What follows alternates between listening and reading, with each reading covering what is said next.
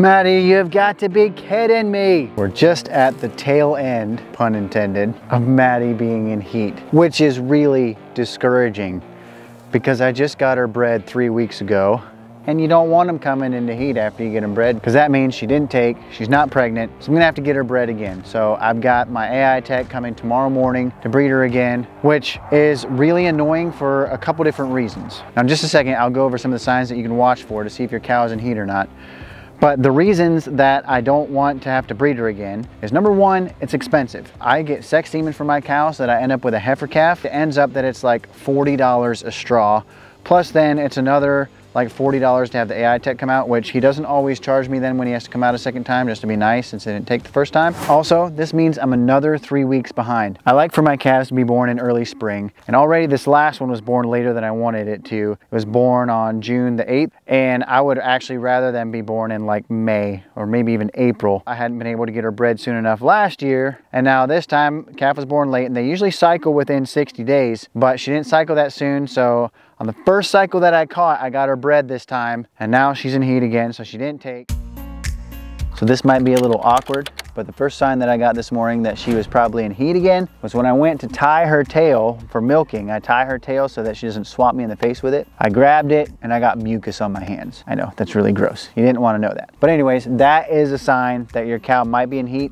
Now, they will have mucus other times, so that's not a sure sign, but that's one of the signs. Now, if you see blood in the mucus a little bit, that probably means that you're a little late, like she had been in heat maybe a couple days before. The second sign that your cow might be in heat is a big drop in milk production. So about a month ago, she was given like five gallons. Then when I switched her from grass to hay, she dropped to about three and a half gallons, which was a little discouraging, but it's okay. But then this morning, once I was done milking her, I was using this milker, I could tell that there wasn't much milk in there.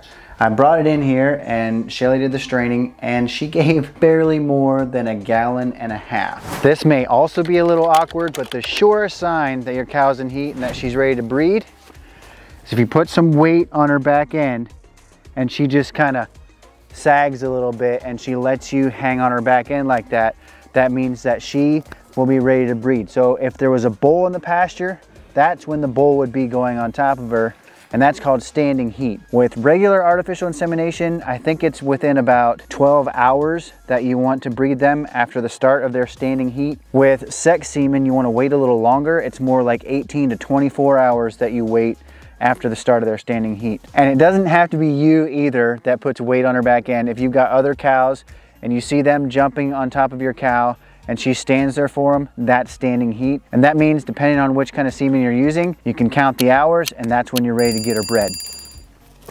The last time that Peaches was in heat, Maddie was trying to jump on her and Peaches stood there because she wanted to be bred, even though that's not a bull. Maddie was trying to mount her this morning and Peaches ran away. So that means Peaches wasn't the one in heat. It was Maddie that was the one in heat. With our first cow, it was pretty hard to catch her heat cycle, especially since she was the only cow here but she was also just really quiet about her heat. Maddie is different. Even when we didn't have another heifer here for her to be jumping around on and stuff and showing us that she's in heat, she was very verbal about being in heat. When she's by herself, she does a whole lot of bawling and mooing, way more than usual. So that is another sign of heat. Another one is if you see their ears flicking back and forth a whole lot more than usual, they'll do it some normally, but when they're in heat, they're just a whole lot more like attentive and stuff like that. Also, just their attitude. They can just get really ornery when they're in heat and it can get really annoying, especially when you're milking them and they just are acting kind of crazy when you're trying to milk them.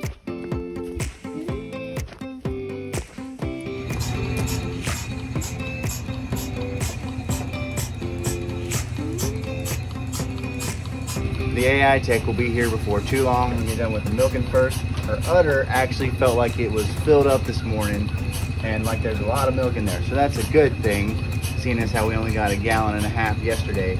But usually that's just how it is with heat. They'll drop for like one day, go way down. And I've never had it quite that drastic from three and a half down to one and a half. Much heavier this morning.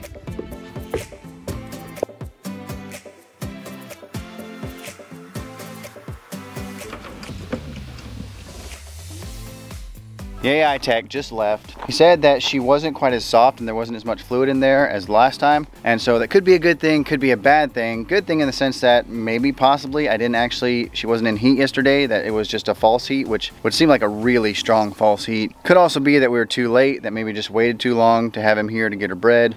I don't know. I've got some pregnancy tests on order that should come pretty soon that I can do at home here with a blood sample. Now pregnancy shouldn't show up on those tests until about 30 days or so after they're bred. So I think what I'll do is wait about a week or so and do that test just to check to see if the first time she was pregnant, because if it shows up that she was pregnant, that means she was bred the first time. And then if she shows not pregnant, then it still could be that she took this time, but not the first time. Coming up next time on More Than Farmers. This right here is an on-farm pregnancy test. Let's go see what it says.